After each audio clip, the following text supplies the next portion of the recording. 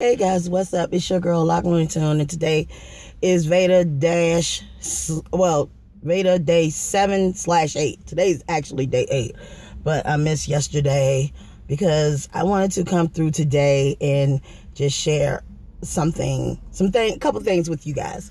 Um, officially, the six made my three month um post op, you know, mark. Basically, I'm I, as of August 6th, I am three months post op from my breast reduction, and I feel great. Um, as far as physically, I feel great.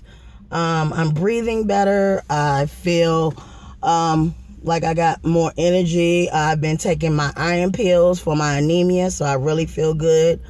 Um, I'm also taking my omeprazole for my acid reflux, so I really feel good. As long as I'm taking my meds and everything. I'm not I'm not in any pain or anything like that, so I'm feeling good.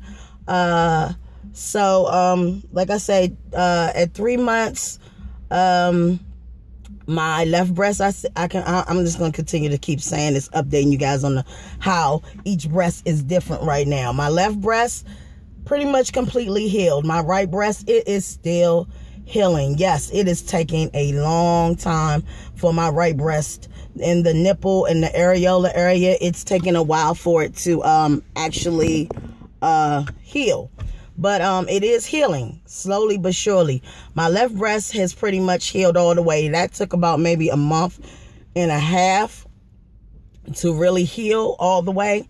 And um, I'm still on the countdown for my right breast. I really don't know how long it's going to take. Um, but for that, that's pretty much the long and short about my breast right now.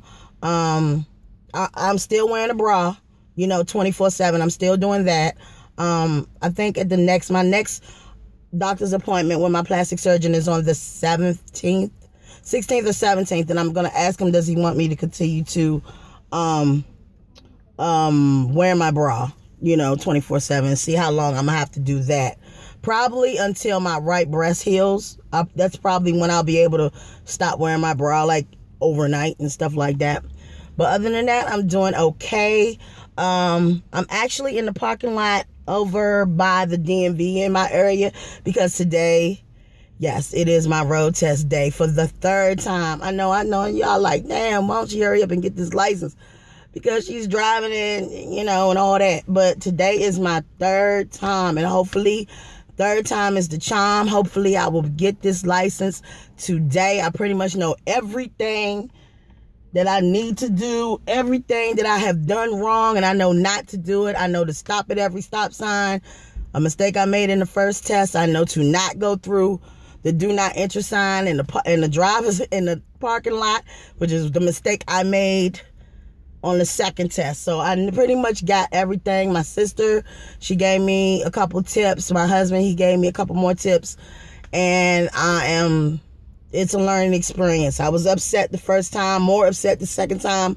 But as of right now, I am confident that I can get this done. I'm trying to get my nerves together, guys. So I'm sitting in my car waiting on my husband to arrive so he can take me to um down to the DMV and we can take care of all of this mess. Because seriously, I am ready to call it a day. I'm down here early.